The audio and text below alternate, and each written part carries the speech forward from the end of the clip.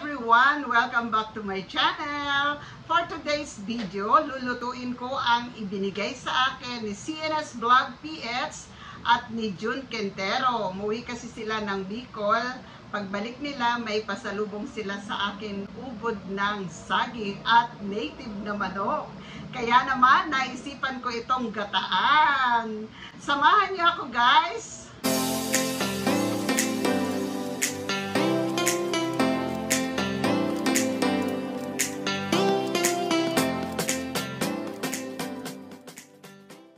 Ito ang aking mga gagamiting sangkap sa pagluto ko ng ginataang ubod ng saging.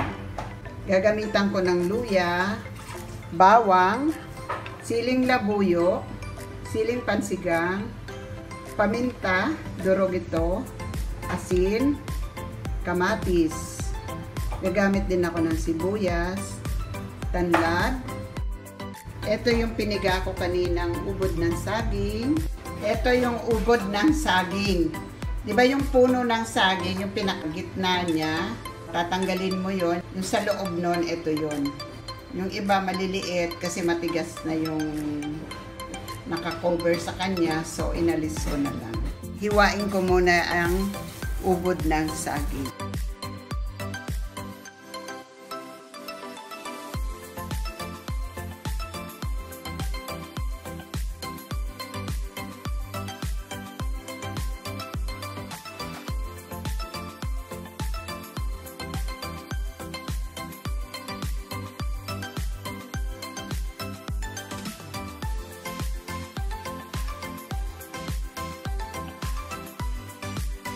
Ayan guys, naubos ko na hiwain yung ating ubod ng saging.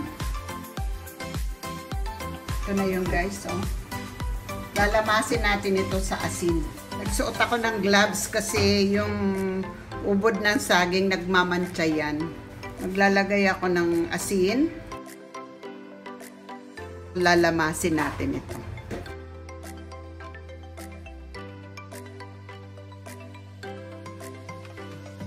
Ayan guys, napapansin nyo ba?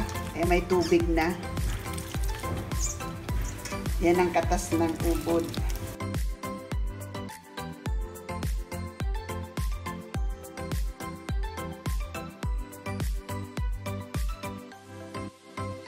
Ito na yung piniga ko. Uulitin uli natin yan guys sa pangpiga.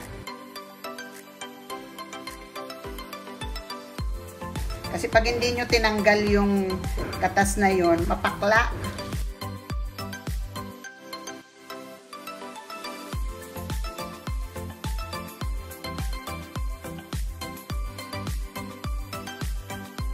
Ito na yung ating pinilang ubod ng saging. Kakalat natin ito kasi minsan may mga parang, ayan na,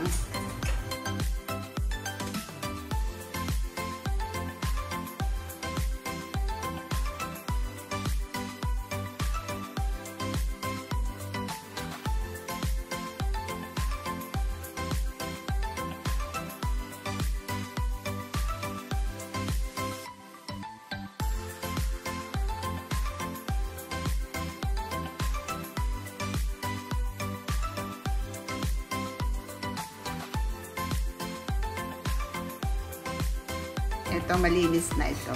Ready na yan. Native na manok na pre-cook na yan kasi galing Bicol. Ang pangalawang gata, ang kakang gata, patis, at mantika. Magigisa muna tayo ng ating mga ingredients. Maglalagay ako ng mantika sa kawali. Unahin ko na ang luya.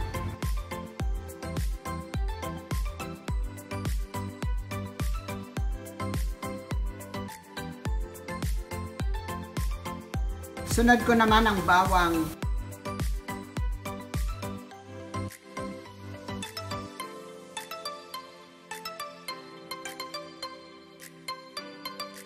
And then ang sibuyas.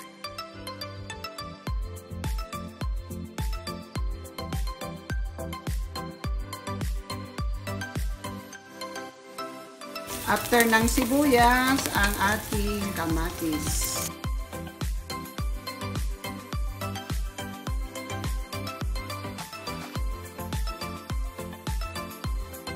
Susunod ko na ang pre-cook na native na manok.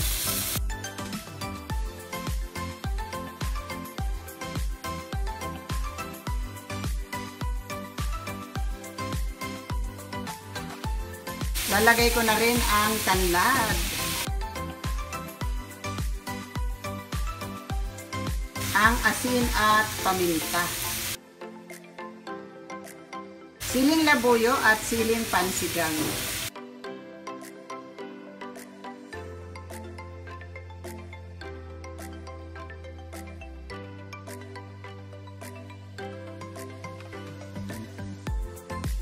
Simmer lang muna natin yan guys.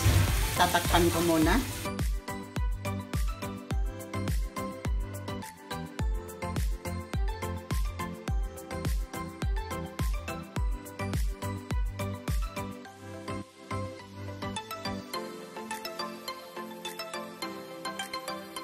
Yan, okay na guys. Ilalagay ko na ang pangalawang gata.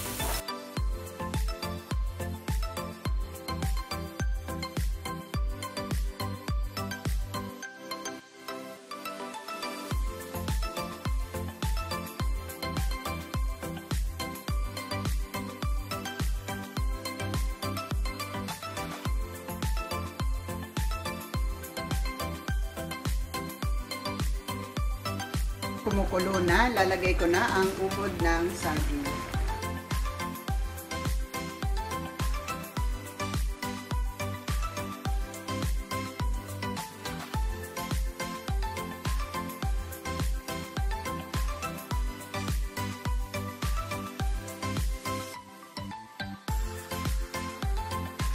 Tatakpan ko ulit.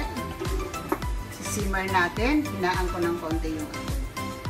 Babawasan lang natin guys yung sabaw doon. Then, ilalagay ko na yung unang gata. Pakati na yung ating sabaw. Ayan, tamang-tama na.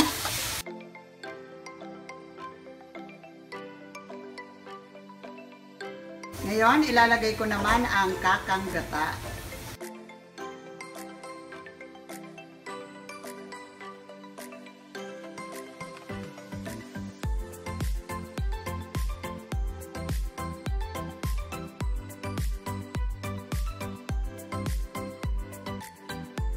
Pakati lang natin ng konti. Maya-maya, okay na to.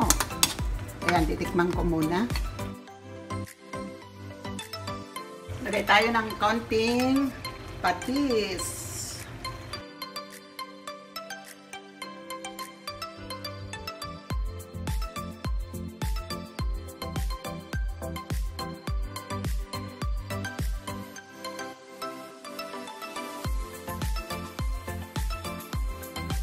Another tikim. Sarap na. Anghang-anghang. Ayan na, luto na ang aking ginataang ubod ng saging na may native na manok. Super anghang. Sarap.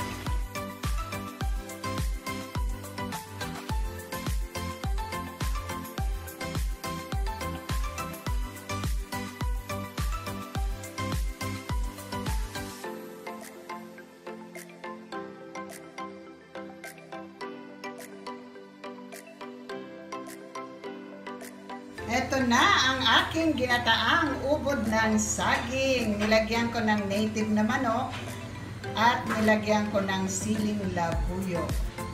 Kung bago ka sa aking channel at nagustuhan mo ang aking ginataang ubod ng saging, don't forget to subscribe at pakipindot mo na rin ang notification bell para updated ka sa aking mga videos. Kung ikaw naman ay nanonood ng aking mga videos, maraming salamat sa iyo.